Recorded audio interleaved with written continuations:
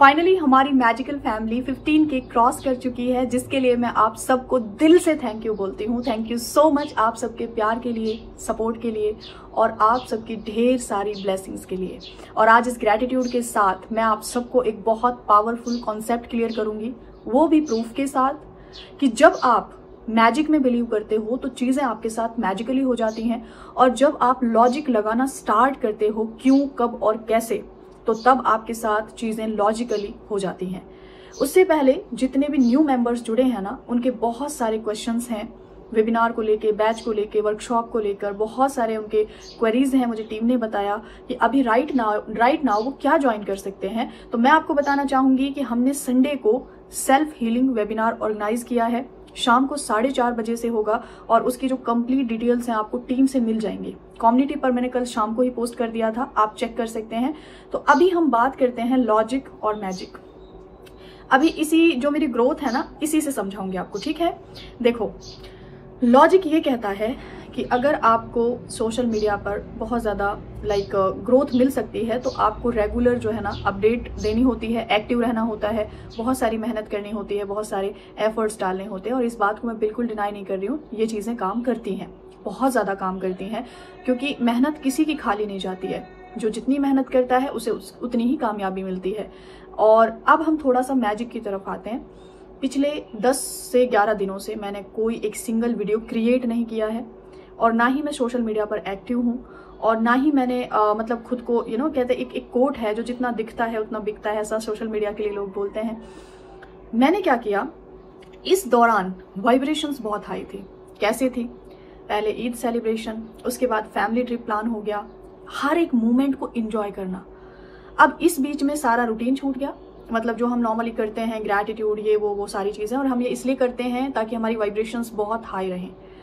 अब यहाँ पर मैं ये नहीं कहती कि रिचुअल्स को छोड़ दो। ऐसा मैंने नहीं कहा। मैं आपको एक चीज़ समझाना चाहती हूँ कि जो वाइब्रेशंस का खेल है, वो किस लेवल तक हमें लाइक सक्सेस दिलाता है। अब क्या हुआ? वो जो वीडियो बाद में वायरल होना स्टार्ट हुआ ना, वो मैंने काफ़ी दिन पहले बनाया था, ग्यारह या दस दिन पहले। तब उसमें नॉर्मल रिस्पॉन्स था, जैसे हर वीडियो पे आता है, मेरी ऑडियंस मुझे वैसे बहुत प्यार दिखाती है। मैंने जैसे ही पहले ईद सेलिब्रेट हुई वाइब्रेशंस बहुत हाई और फिर जो है हम लोग ट्रिप पर निकल गए, फिर वो वीडियो वायरल होना स्टार्ट हुई है। और उसकी वजह से जो है ना, बहुत फास्ट ग्रोथ हुई है। मैजिकल फैमिली फास्ट ग्रो कर रही है। अभी भी कर रही है। अब यहाँ पर थोड़ा सा डिफरेंस है लॉजिक और मैजिक में। लॉजिक में हम ये सोचते हैं कि बस ये कैसे होगा, कब होगा, ऐसे कैसे हो सकता है, ऐसा थोड़ी होता है। एग्ज़ाम्पल दे दो अब यहाँ पर बैठा हुआ कोई इंसान ये सोच रहा होगा कि, यार वेबिनार तो ज्वाइन करने का मन है बट करूँ कैसे? टाइमिंग का इशू हो सकता है, या फिर उनके पास ऐसा सोर्स ही ना हो जिससे वो ज्वाइन करें। अब यहाँ पर लॉजिक ये हो गया मैजिक ये होता है कि वेबिनार ज्वाइन करना है, कैसे होगा वो मुझे नहीं पता सरेंडर अब कुछ भी करके ना वो चीज़ आपको मिल जाएगी। अगर आप बीच में डाउट नहीं लाते हो, ये डाउट जो है ना वो सारे खेल को ख़त्म कर देता है।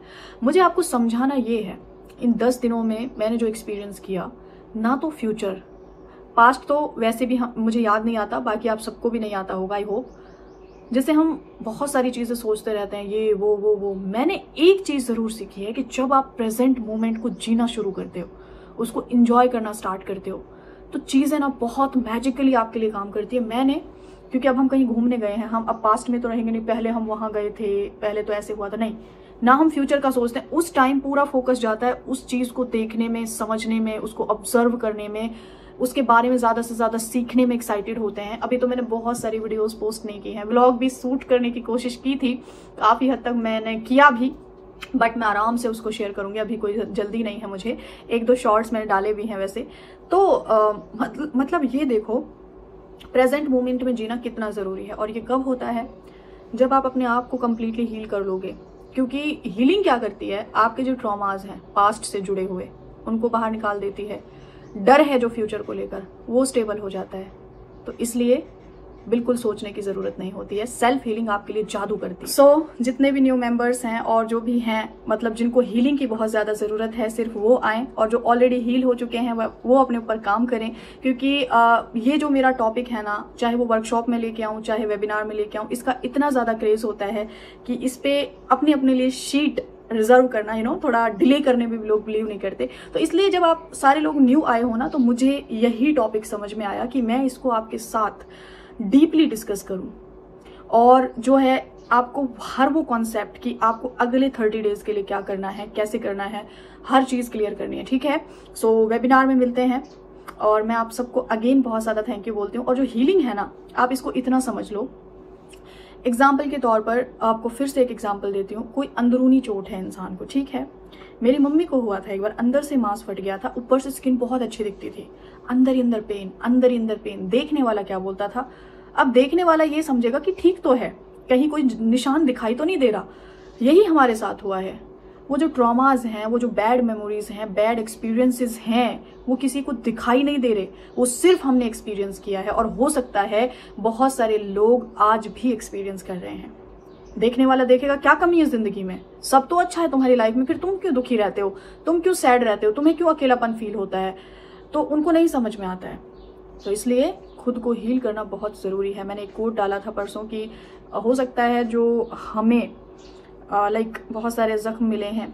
वो अनजाने में जानबूझ के वो हो गए हैं लेकिन उनको हील करना हमारी रिस्पॉन्सिबिलिटी है। उसके लिए हम किसी को रिस्पॉन्सिबल नहीं ठहरा सकते। जब हमें पता है कि एक्चुअल में ये प्रॉब्लम है और उसका सोल्यूशन ये है तो उसमें हम खुद ही उसकी ज़िम्मेदारी लेंगे। उसके लिए कोई रिस्पॉन्सिबल नहीं है। ठीक है? सो so, मिलती हूँ आपसे नेक्स्ट वीडियो में। तब तक अपना बहुत सारा ध्यान रखें अपना ख्याल रखें। Take care everyone and bye